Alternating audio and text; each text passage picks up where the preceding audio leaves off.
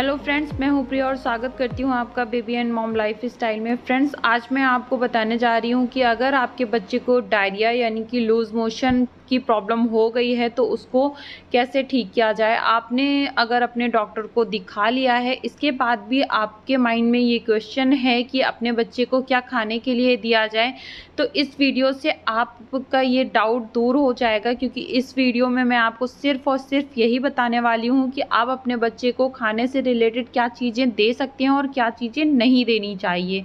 तो फ्रेंड्स सबसे पहले और जो मेन चीज़ है, वो है O R S O R S यानी कि oral rehydration solution friends O R S क्यों दिया जाता है? ओ आर एस इसलिए दिया जाता है क्योंकि हमारी जो बॉडी होती है, जब डायरिया हो जाता है, तब वहाँ पर पानी की कमी हो जाती है।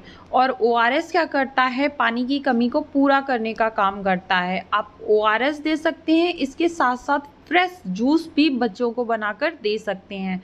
ओआरएस अगर आप घर पर बना रहे हैं तो आपको कैसे बनाना है? आपको बता देते हैं, आपको एक लीटर पानी लेना है, उसमें छः चम्मच आप चीनी लीजिए और आधा चम्मच आप नमक का लीजिए और अच्छे से इसको उबाल दीजिए। इसके बाद में, ठंडा होने के बाद में आप इसको स्टोर कर कर रख सकते हैं और थोड़ी थोड़ी देर में बच्चे को देते रहें। फ्रेंड्स, हर बार मोशन के बाद में पानी की कमी को पूरा करने के लिए कम से कम एक कप लिक्विड ज़रूर बच्चे को देना चाहिए। इससे क्या होता है? इससे बच्चे की बॉडी हाइड्रेट होती है। नेक्स्ट चीज़ है, बच्चे को बनाना दीजिए। एक बनाना बच्चे को ज़रूर देना चाहिए। एक पिंच सॉल्ट ले लें और थोड़ा सा आप लेमन जूस डाल दीजिए उसी में और ये इसकी प्योरी बनाकर आप अपने बच्चे को दीजिए दिन में दो बार। ये भी बहुत ज़्यादा अच्छी होती है। नेक्स्ट है पफ्ड राइस यानी कि इसको आप मुरमुरा भी बोलते हैं कई जगह तो ये आपको कैसे देना है? आप क्या करें, मुरमुरा ले लीजिए एक कटोरी और एक गिलास पानी ले लीजिए। एक गिलास पानी में मुरमुरे को भिगो दीजिए। और 20 से 25 मिनट। आप आधा घंटा भी रख सकते हैं, भिगो कर रख दीजिए। इसके बाद में पानी को छान कर अलग कर लीजिए। अब ये पानी आप अपने बच्चे को दिन में दो से तीन बार दीजिए। इससे भी बच्चा की बॉडी जो होगी, वो बहुत जल्दी रिकवर होती है और डायरिया से निजात मिलती है।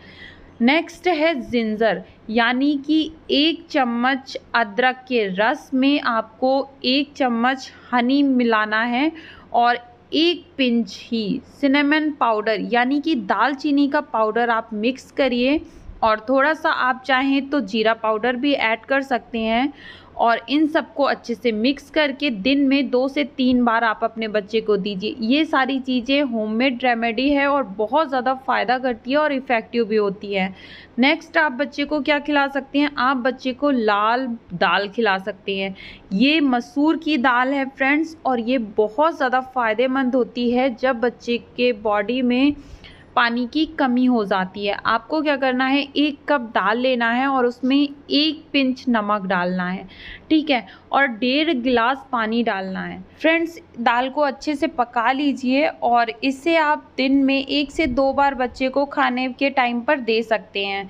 इसके बाद में आप बच्चे को दही दे सकते हैं। जी हाँ फ्रेंड्स, इस टाइम पर डॉक्टर जो होते हैं, वो दूध को मना कर देते हैं तो आप बच्चे को दही दीजिए। दही बहुत जल्दी डाइजेस्ट हो जाता है और ये पेट को भी ठंडा रखता है। इसके साथ इसमें पाए जाने वाले जो बैक्टीरिया होते हैं, वो दस्त को रोकने में हेल्प करते हैं, क्योंकि बैक्टीरिया दस्त से छुटकारा पाने में, पाने के लिए जो लैक्टिक एसिड होता है, वो उत्पन्न करता है। और इंटेस्टाइन को एक सुरक्षात्मक कवच प्रदान करता है। डायरिया के उपचार में चावल और ये जो दही है, इसका बहुत ज़्यादा यूज़ है और ये बहुत अच्छा काम करता है। चावल भी इंटेस्टाइन की जो गति है, उसको कम करके दस्त को रोकता है। तो फ्रेंड्स, ये दोनों चीज़ें बहुत ज़्यादा फ़ायदेमंद होती हैं तो आप अपने बच्चे को खाने के रूप में ये भी दे सकते हैं। तो फ्रेंड्स, ये वीडियो आपके लिए कितना हेल्पफुल रहा, प्लीज़ मुझे कमेंट करके ज़रूर बताइएगा। अच्छा लगा, करे वीडियो तो लाइक, शेयर और चैनल को सब्सक्राइब कर लिया करिए। फ्रेंड्स, शेयर कर दिया करिए आप अपने फ्रेंड्स और रिलेटिव्स के बीच में ताकि जो बच्चे हैं वो स्वस्थ रहें, हेल्थी रहें और अगर उनको कोई प्रॉब्लम हो गई है तो वो उससे जल्दी से जल्दी छुटकारा पा सकें।